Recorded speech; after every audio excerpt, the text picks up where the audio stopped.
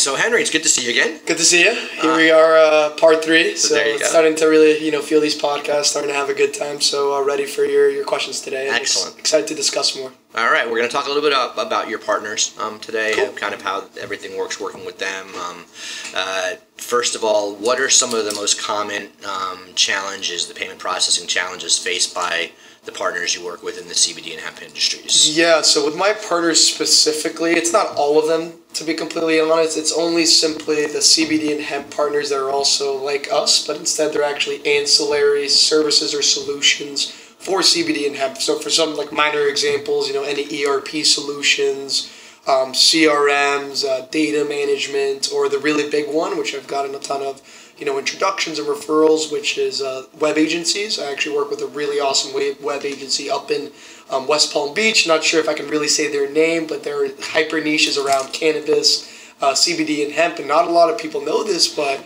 you don't have to specifically sell the product to be considered under this high risk category. Oh, it's really? really anybody that kind of has to do with the business or kind of touches the business, even though they're not selling the plant directly or kind of selling it to consumers they're still under the high risk category. So the way that I've helped out, you know, this specific company and some of the other ancillary ones that I work with in the industry is the same way I would help, you know, normal and CBD and hemp companies is just making sure they have the lowest rates, they have no reserves, they have good customer service, they have someone that always picks up the phone when they call. But it's a little bit different than the people that sell direct to consumers because we have, you know, compliance. Yes. There's a lot more, a lot more risk monitor, monitoring we have to do. But when it comes to reputational risk, that's the biggest challenge um, that they face. And there, there was an interesting thing that happened about a year ago uh, to me where I saw that CBD and hemp companies were not only dealing with issues in payment processing, but they were also dealing with issues in uh, marketing because they're shadow banned, distribution, manufacturing, and even COAs, which is uh, kind of crazy. So I saw a really interesting opportunity to not only service this uh, web agency that was still considered high risk, but also you know make introductions for that web agency with CBD and hemp companies that were struggling with their marketing, and that helped in two ways, which was you know helping another business with bringing additional clientele with new business development, and then actually bringing additional sales uh, to the, the business to consumer and business to business CBD and hemp companies. Since you brought it up, um, can you explain some of the key compliance and regulatory hurdles that some of your partners um, often encounter? Yeah, yeah, it's mostly just state to state. Um, since it is federally legal at this point in time, that's obviously why the credit card uh, companies and the card brands are more than open to taking and giving them the ability to take the plastic. But it mostly at this point in time comes to state to state, where so where you're shipping out products, how you're testing out products, what your COA needs to look like, you know, pre-harvest um, versus uh, post-harvest, uh, the ways that you're using your data, data management, what you need to report um, specifically to the state. You know, some states you need a, a hemp license, some you don't. Some retail locations in some states to sell these products, you need a retail sales license, and then some you don't. So it's it's very state to state, so it can kind of be mazy to some extent. But luckily, you know, here at TouchSuite, you know, we have the the lobbyists, we have the legal team, uh, the underwriters, and and and, and risk team. It's so funny. You walk by their desk now, and you'll see so many different, you know, CBD companies there because the, the the CBD guys love them. You know, the of way course. that they underwrite. You know, they're also open to talking to them. So. Um, when it comes to compliance and risk, and honestly it's so hard to keep up with it. It changes week to week, but luckily we have the individuals and the players that be that see these things change in a daily fashion, and then they can update me, and then we can kind of exchange information. So we're always um, working in compliance and, and risk requirements when it comes to our CBD hemp and all the other high risk rails we're a part of. Gotcha.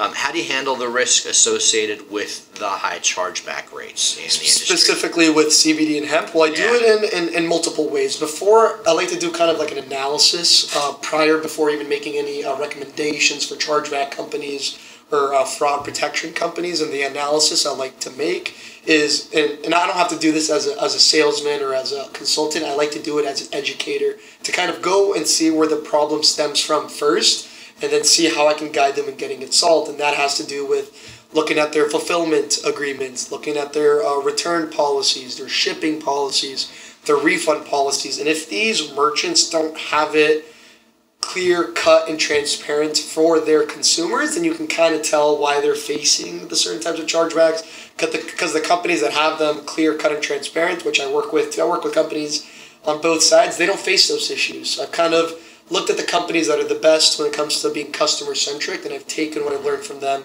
and giving that knowledge to other um, industry uh, merchants and players to kind of you know fix those you know back end solutions. And then if I see there's no way of fixing that, then I introduce them and I recommend them to a chargeback or fraud protection company that I have a relationship with, which I have multiple but it just depends on their needs, which one is the, the perfect fit for them. Yeah, the more information you have, the better it is for you to kind of find the solution. Yeah, some people in the industry like to just make the intro without really kind of, you know, digging deep into the, the seed of the problem. I sure. like to start there, even though it is the, the harder work. I found out that if you do the harder work at the beginning, most likely means you don't have to do it in the long term. Gotcha. That's what these people are looking for. Absolutely. Um, not naming names or anything, but can you discuss any specific partnerships or collaborations you've engaged in to improve payment processing within these sectors? Yeah, yeah. So the first one I joined was actually in Florida a little bit earlier this year. It's called C Lab. It actually started for cannabis labs. It's been around uh, for ten years. It's more around compliance and um, on the on the legal side. So it actually got started by lawyers, um, for other lawyers to kind of learn about the industry and to get into it. But over the last um, five years, it's actually uh, grown to more of like an event and networking and okay. social community. Mm-hmm. Um, so we meet every last uh, Thursday of the month at uh, AMSO, American Social, down in Fort Lauderdale.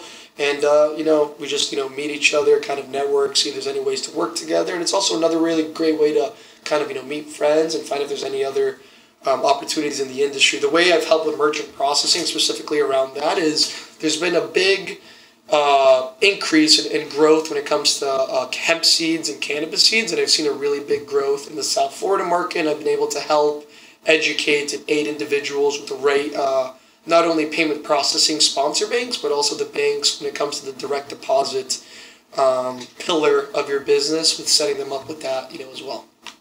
And um, what strategies can you use? You know, a lot of people you start, you bring them in, you start with where they are, but um, as they grow, they need to scale their business. So, what strategies do you use to keep them from kind of encountering payment processing problems as they do grow as a company? It all has to do specifically in CBD and hemp. All it is is increasing revenue because you're in such a saturated market that you have to stay extremely competitive. And the way in which you do that and the way in which I've recommended. Of course, not everyone listens to me as, as much as I wish they would, but um, the ones that that do, you know, I you know give them different ideas around different SKUs that they can sell in their e-commerce, and the way that I do that is we work with a lot of manufacturers and distributors, and they always have different.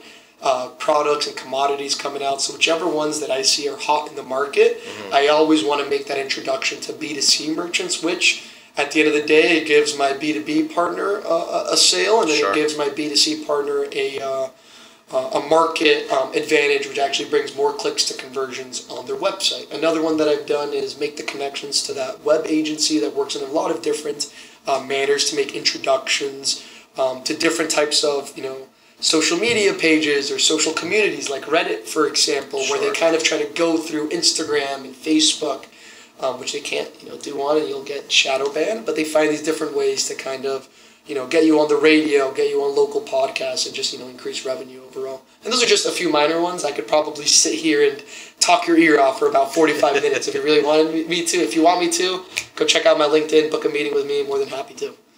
Um, I think kind of this goes to the heart of the whole issue when you're dealing with not just CBD and hemp, but all the high risk yep. um, industries how do you deal with the potential negative stigma that's associated with CBD and hemp when you're working with the financial institutions and payment processors? It's all about the way in which you paint the picture, not only to the bank and the underwriters, but also how you paint it to the merchant. You really want to be transparent with the merchants, run them through what the process looks like with the bank, because at the end of the day, we have one job here at TouchSuite, and it's to make sure that our merchant, our prospect, is happy with the way in which we're setting them up from the pricing schedule, um, the way in which you know we're going to put them through underwriting and kind of get them approved.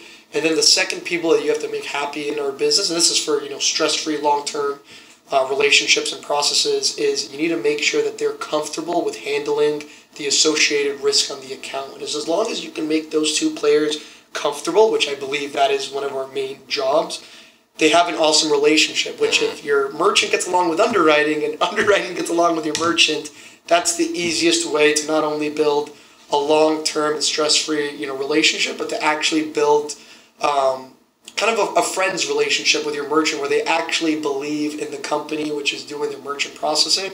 Which, if you ask anybody, they'll probably tell you that they don't believe in them. So it's a massive advantage to kind of curate that. But at the end of the day, that's something that we have to do, and you do it with the knowledge that you pick up and how long you're in the industry for. Absolutely.